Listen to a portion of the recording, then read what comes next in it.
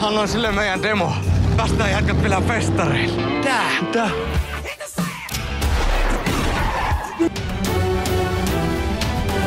Tervehdys elokuvien ystävät. Tänään tehdään Hevireissu Norjaan, eli kyseessä suomalainen leffa nimeltään Hevireissu, joka kertoo metallibändistä ja vähän muustakin.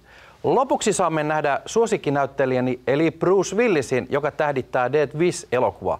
Annetaan poikien aloittaa Hevireissulla.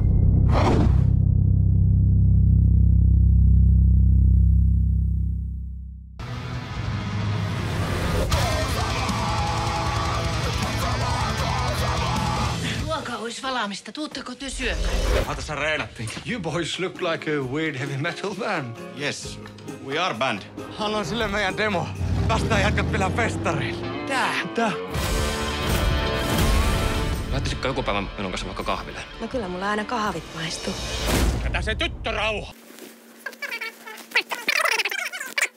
Pienen pohjoisen kylän oma poika Turo, jota esittää Johannes Holopainen, joka muuten näytteli Tuntematon sotilas leffassa, ei välitä kiekosta tai autojen rassaamisesta.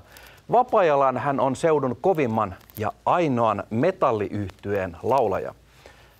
Yllättävien sattumusten kautta Turolle ja hänen bändikavereilleen tarjoutuu kaikkien aikojen tilaisuus päästä pois kotikulmilta ja nousta isoille lavoille. Tiedossa on hevireissu. Mennään seuraavaksi leffan tekijöiden haastatteluihin. No, mistä, miten päädyt tämmöiseen heavy-leffaan? Etkö sinä ollut siinä tuntemattomassa? Joo, olin joo. Eli sotilaasta hevariksi. Joo, niin eikö se ole niin tämä luonnollinen Niin. siirtymä sieltä Niin. sitten porras ylemmäs. Aivan. Joo, kapteenista tota, niin, Niin, niin. Aivan.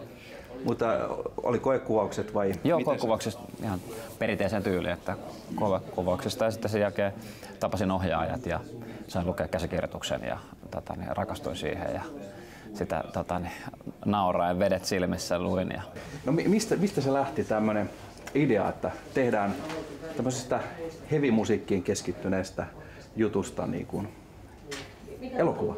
Aihe on meille jonkun verran, jonkun verran tuttu. Juuso on enemmän tommonen todellinen aiheharrastaja, he- kunnon hevari. Mm. Se oli vaan tuonne kevyt versio siitä, mutta tota, Light Hevari. light hevari päätäpäin näkyy. Tota, meillä on jonkun verran kokemusta, tehty musiikkivideoita esimerkiksi aikaisemmin, siellä on taustaa. Ja asutaan Oulussa, niin se pohjoinen, pohjoinen metallimusa on semmoinen, että se oli tuttua meille niin kuin, tavallaan duuninkin puolesta. Ja näin, ja sitten siinä oli paljon sellaista, niin kuin, jota me koettiin tosi siistiksi ja sympaattiseksi siinä, että tota, tyypit tekee niin kuin, todellisesta niin kuin, rakkaudesta musaan sitä hommaa. Että, että tota, varsinkin tämäkin elokuva kertoo sitä aika, aika tota, erikoisesta bändistä, joka soittaa aika erikoista heavy-lajia. Niin, tota, siinä ei ihan älyttömän rikastumaan pääse tai muuta. Että se antaa sille semmoisen, niin kuin, että nyt ollaan niin kuin, todellisesti tehdään sellaista, missä todellisesti pidetään. Kun te olitte molemmat ohjaajia, niin tuliko teillä kismaa keskenään, että hei, ei kun tehdään tää näin vai? Yllättävän vähän. Mut tuli kuitenkin. No, mm, se tuntuu, että meillä, meillä niin hyvät perustelut voittaa aina. Että meillä on niin tavallaan selkeä työjako tässä, tässä ollut, että harvemmin ne sukset menee ristiin. Että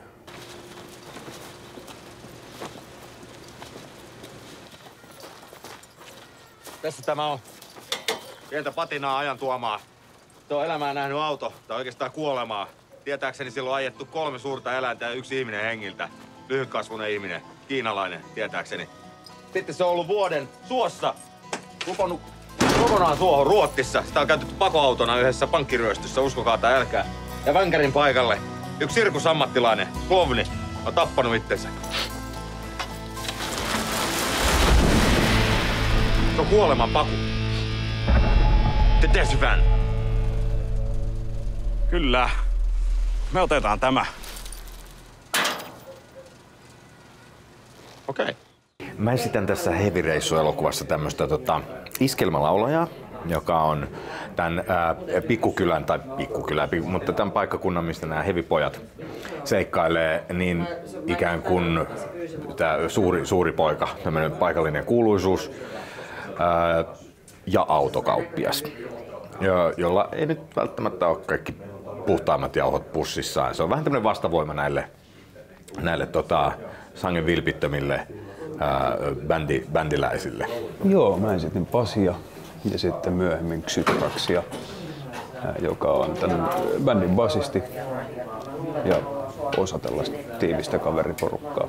Joo, kyllä se tämä Pasi on vähän niin kuin tämän bändin tämmöinen uskot, uskottavuusvalvoja, että, että se on tosi syvältä metallimaailmassa ja se niin kuin pitää ainakin omalla kohdallaan ja sitten niin kuin jossain määrin bändikin osalta niin kuin huolta siitä, että mennään niin kuin sitä heavy, heavy tota, ulottuvuuden puitteissa. Ja tosi älykäs ja hyvä muistinen kaveri, joka, joka on to, to, tosi diipistä skenessä. Ja... Mä näyttelin sitä heavy-kitaristi Lotvosta siinä. Ja tota, tällä Lotvosella niin sen vanhemmilla on poroteurastamo, jossa Lotvonen on itsekin töissä. Ja siinä no, elo, elokuvassa, elokuvassakin on viitteitä siihen, että tota, Lotvonen on eläinrakas tyyppi, mutta työskentelee kuitenkin siellä tota, teor, teurastamalla eikä nauti niinkään siitä omasta duunistaan. Mutta isänsä, isänsä kanssa siellä, siellä tota, no niin, teurastelee poroja ja haaveilee kovasti, että pääsisi niin kuin keskittymään siihen musiikin tekemiseen. Ja tota, tää on ehkä se, tai no, ehkä, tää on se tota, bändin tyhmin kaveri.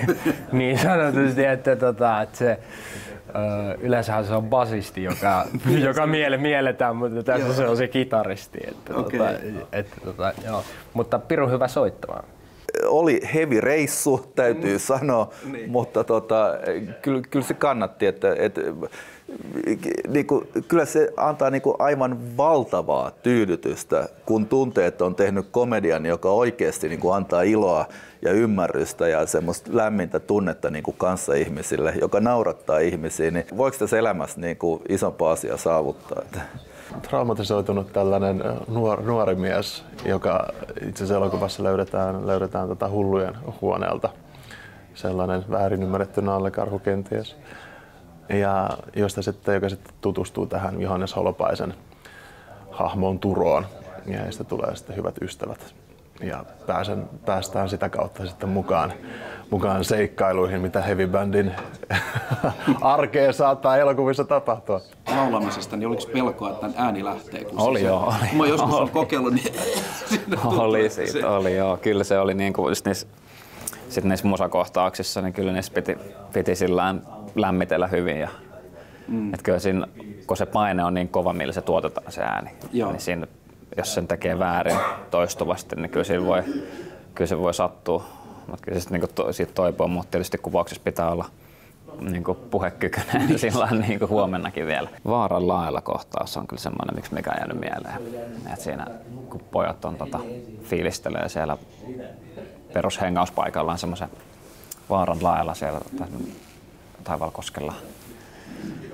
Niin siinä kun kuunteli, kun Jynkkö selittää sitä, visioi sitä tota, niin, mahdollista keikkaa Norjassa ja fiilistelee, niin sitten se niin pohjoisen maisema siinä taustalla ja katsoo, kun Jynkkö siinä selittää. Istuttiin siinä, niin siinä niin koki sellaisen niin kuin, Mut hei, kiitos, kiitos. näistä sanoista paljon. No. Turolla ja sen bändillä on keikka Norjassa. On kyllä on ihan sekaisin. Hattua koulutus.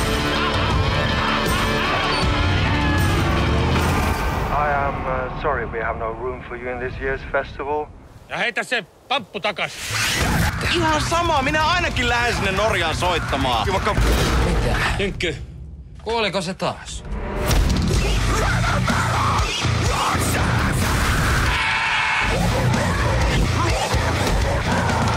Mitä musaa te vajakit oikeastaan soitatte edes? Se olisi taas ysissä kolemmasella paskat housussa. Taas? Taas. Hevireissu on siitä erikoinen leffa, että se naurattaa, pitää otteessaan, siinä on jännitystä ja kaikkea sitä, mitä hyvä leffa pitää sisällään. Harvoin nauran salissa vedet silmissä, kun kyseessä on suomalainen komedialeffa, mutta tässä saa nauraa. Voin yksikantaan sanoa, että nyt on onnistuttu isolla O-kirjaimella. Vaikka en mikään hevimies olekaan, enkä hirveästi heavy-musiikista pidä, niin näiden hevareiden aitous ja koko tekijätiimin aitous on käsin kosketeltavaa. Ohjaajat Juuso Laatio ja Jukka Widgren ovat tehneet nyt esikoisohjauksen ensimmäisestä pitkästä elokuvasta ja täytyy sanoa, että he ovat onnistuneet siinä erittäin hyvin. Elokuvan juonena on, että koko kylä luulee heidän oman kylän poikien pääsevän metallikeikalle Norjaan. Leffassa on mukana myös Eppu Normaalista tuttu Martti Syrjä ja isomies Kai Lehtinen. Hevireissu on täynnä niin paljon mielenkiintoisia kohtauksia, että jo melkein toivoo, ettei elokuva loppuisi ihan vielä. Annan Hevireissulle täydet neljä tähteä ja jäädään odottamaan, jos tulisi vielä toinenkin osa.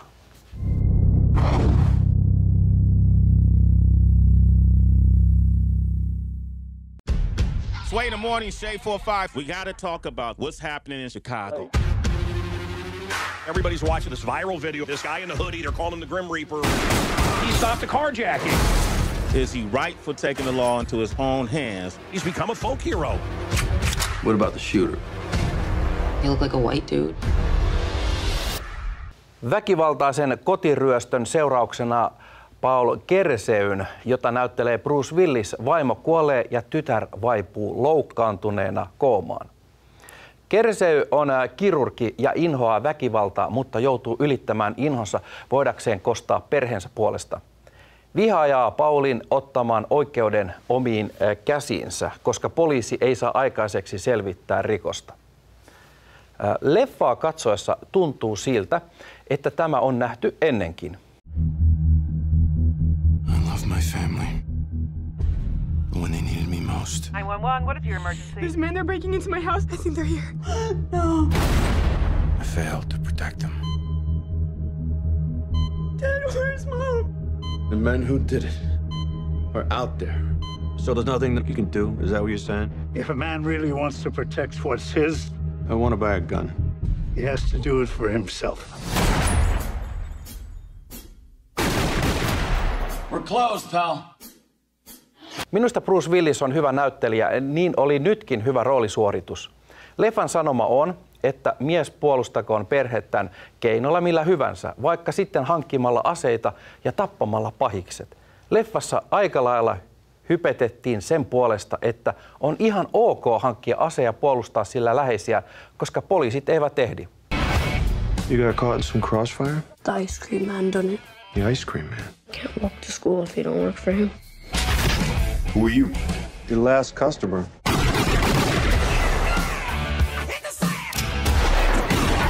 You're not a cop. Somebody has to do it. They called him a guardian angel. He saved my life. Tässä elokuvassa oli perusjännitys ja homma eteni hyvinkin loogisesti, ehkä jopa liiankin, sillä pohdin jo, että tulisiko jossain välissä juonenkäänne, joka yllättäisi. Homma vietiin tutun kaavan mukaan, että paha sai palkkansa vai saiko? Onko ihan ok lahdata pahiksia oman käden oikeudella? Leffassakin kysyttiin, että mitä tästä tulisi, jos me rankaisisimme pahantekijöitä oman mielen mukaan.